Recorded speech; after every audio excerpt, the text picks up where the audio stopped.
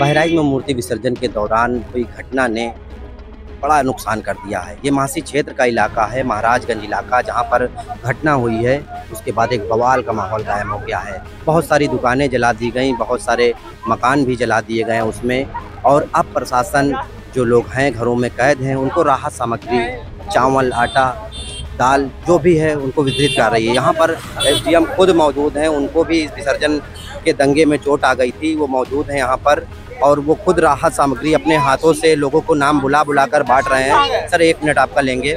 ये बताइए ये जो चोट आपको आई है क्या तो ये भी दंगे में नहीं नहीं नहीं इस तरह कोई बात नहीं है। ये बताइए अभी क्या किया जा रहा है ग्रामीणों के लिए? क्या ग्रामीणों के लिए हम लोग पूरा सर्वे कर रहे हैं। किसी को किसी तरह की दिक्कत है उसको दिक्कत दूर करने का प्रयास कर रहे हैं। बाकी सारे वरिष्ठ अधिकारी फ़ील्ड में है ग्राउंड पे है सारी चीज़ें में राहत सामग्री किन लोग राहत सामग्री जितने लोग सर्वे में जैसे अभी यहाँ ग्यारह परिवारों को हम लोग करीब उनके परिवार में बावन लोग हैं जो हमने डिटेल किया है।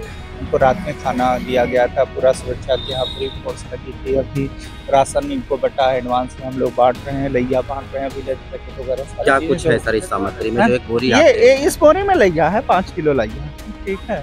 लैया है। इसमें इसमें पाँच तो ये एसडीएम मासी हैं, इनका साफ़ तौर पर कहना है, राहत सामग्री ये ग्यारह परिवारों को बांट रहे हैं, उसमें बावन लोग शामिल हैं और जिस तरह की दिक्कत आगे देखी जाएगी, उस तरह लोगों को मदद की जाएगी।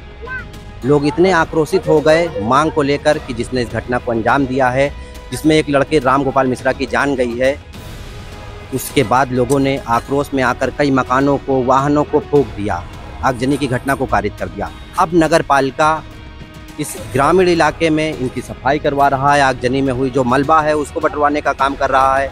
यहाँ पर आप देख सकते हैं किस तरह से नगर पालिका के कर्मचारी लगे हुए हैं। लगातार घंटों से मेहनत करके इस मलबे को हटाने का प्रयास कर रहे हैं। यहाँ पर नगर पालिका के एक जिम्मेदार भी मौजूद हैं। नगर पालिका इंस्पेक्टर, हम उनसे जानेंगे कि कब तक ये काम उनका चलेगा, अभी तक क्या कुछ किया है। क्या है सर? हम लोगों को बुलाया गया है प्रशासन के द्वारा और हमारे कर्मचारी भी करीब पचास साठ आए हैं। जो यहाँ पे जला हुआ है, मान आगजनी हुई है, जो कुछ भी हुआ उसको हम लोग साफ़ सफ़ाई करेंगे तो नगर पालिका के लोग हैं, लगातार लगे हुए हैं। शहर में भी कई जगह आगजनी की घटना हुई है, उस पर भी साफ़ सफ़ाई की व्यवस्था देखी गई है। अब यहाँ पर भी लगातार लगे हुए हैं। प्रशासन हर एंगल से लगा हुआ है। तहसीलदार की बात अगर करे, करा जाए, यहाँ पर एसडीएम की बात किया जाए तो वो भी ग्रामीणों को, जो ग्रामीण ऐसे हैं, जो अपने कमरों में बंद हैं, जिनके खाने का ठिकाना नहीं है, उनको वो किट जो है व्यवस्था मुहैया करा रही है कि उनको किट मिल जाए, उस किट में लैया चावल, आटा, जो भी हो रहा है, पहुँचा रहा है। और नगर पालिका भी यहाँ पर लगातार लगा हुआ है। अब ये देखने वाली बात होगी, ये जो घटना है, जिसने विकराल रूप ले लिया है, कर्फ्यू जैसी स्थिति इलाके में है, ये कब शांत होती है? बहराइच के मासीगंज क्षेत्र से बिन्नू वाल्मीकि की लोकल एटीन के लिए रिपोर्ट।